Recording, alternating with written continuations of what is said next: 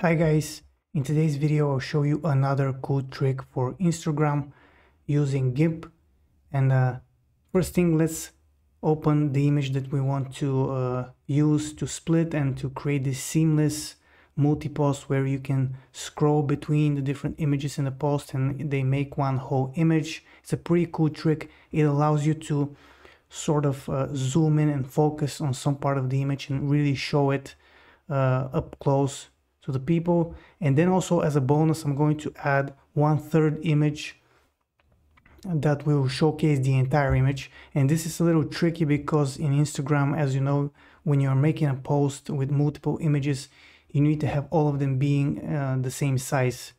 So uh, that's why showcasing the entire image and having it uh, zoomed in sort of makes it a little tricky to do, but you'll see there's nothing difficult actually.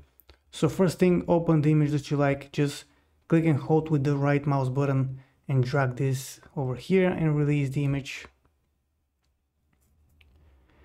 Now uh, the next thing I'll do is because we are going to need, like I said, um, a third image when we're going to create it here, I'm going to zoom out a little bit holding down the control key and turning the mouse wheel backwards and then holding down the mouse wheel to pan over here. I'm going to grow the canvas towards this direction.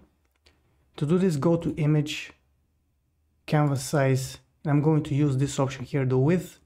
Just click on the upper arrow and you see in the preview section how it grows to the right side. And I think something like this will be enough. So let's click on the resize option. Next, I want this layer boundary to be uh, grown here to do, to uh, surround the entire image, not just here, because this will create problems further down the line. So go to layer here and click this option layer to image size and you see how the layer boundary grew and now it's all around the image.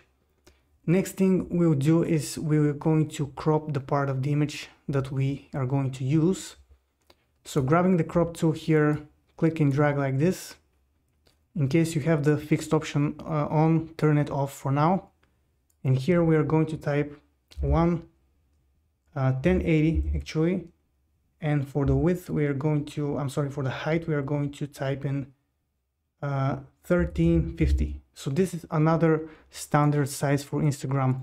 One is the square, which is 1080 by 1080, and this one 1080 by 1350 is another sort of standard size for Instagram. We're going to use this one. And now click on the fixed option because we're going to grow this. It's just uh, too small in this case. And let's just grow it like this. And I want to show kind of the half of the face with the first image and then when uh, someone scrolls to the next image, we're going to show the next half. And then here will be the third image with the entire uh, image showcased. So let's see something like this. I think will be good.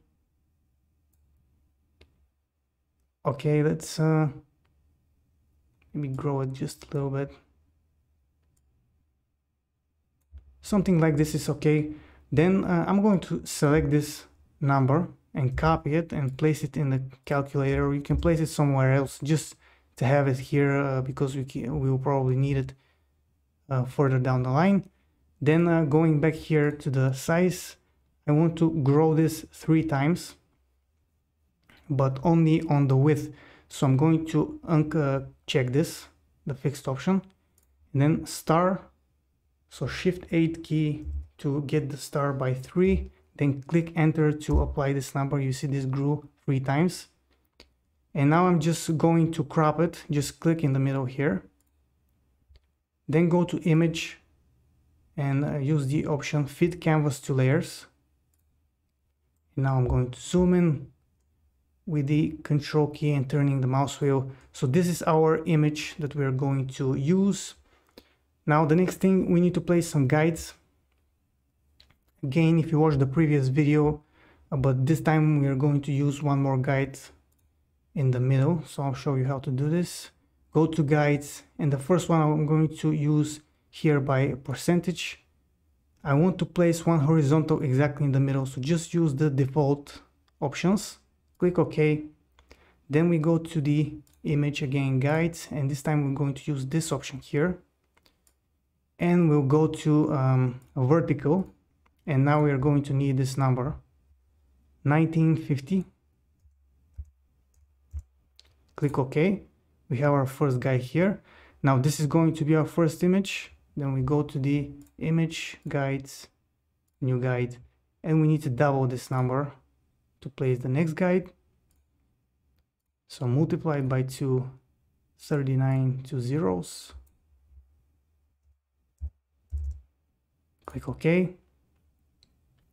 Now the next option uh, the next move will be to uh, again load the image in GIMP as a new layer. So I'm just going to go back here drag and drop it again. Now I need to um, get the number we initially had here again. So I'm going to divide this by 2 and we have 1950 you see what I'm going to do with this? I'm going to press shift S for the scale tool or you can just click it here for the on the uh, two options on the tools menu. And then I'm going to add the number here. So we need 1950 for the width. Click enter click scale. Now I'm going to press the M key for the move tool grab this and move it over here. Now you see in the middle of the image when we are moving it we have this plus sign. This is the center of the image and this will snap to the guide. Also it will snap to the to this guide over here. So it should be in the middle now. I'm going to zoom in just to check. You see it snapped exactly to the guide. So this is good. Let's check the other side and it looks good here as well. Okay so next we are going to grab this tool here the free select uh, the rectangular select tool and we need to make a selection. So we are exactly at the guide in the edge of the image and grab this side here and grow it. You'll see why in a second. Place it exactly here now I'm going to use the control dot or um, let's actually do it from here. Fill in with the background color or you can use this shortcut control plus dot and this will fill this with white. And I made a mistake here. I think I'm on the wrong layer yes um, so before this let's uh, just flatten the image. Let's just flatten the image from here and now when I use this it will fill with the white color.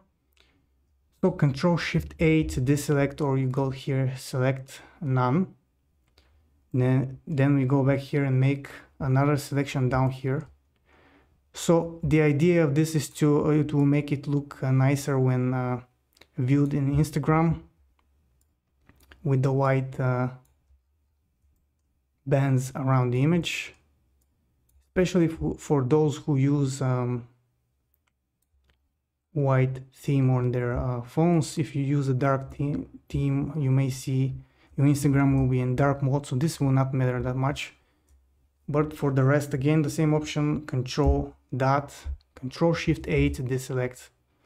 And now M key over this guy click with the left mouse button grab this guide and just uh, place it here over the ruler and this will remove it. So when we now we are going to slice the image and um, to do this again we are going to use the same as the last tutorial the filters web slice. And uh, okay this showed up. Desktop here jpeg yes for the folder. Those are the three options we are going to touch. Desktop jpeg yes then click OK, this will slice the image.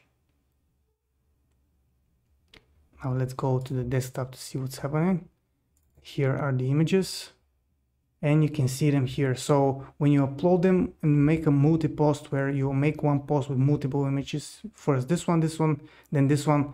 So the person that views this will see first this one and when you scroll it's just going to smoothly transition to the next one and kind of make uh, an entire seamless image and then the third image uh, you'll be able to showcase the entire image. So this is a very cool way to uh, zoom in in an image and showcase it on Instagram. Pretty nice effect and that's it. Pretty easy to do as you've seen. To be even easier if you don't want to showcase with a third image. If you just do this, it's much easier to do. So that's it guys for this tutorial. Hope it was useful. If it was, uh, like the video, subscribe if you're new. You can use the new thanks button if you want to support the channel. Also, I include a link in the description towards my Inkscape tutorials channel. I intend to come back there too. And that's it for this one guys. I'll see you in the next one soon. Bye for now.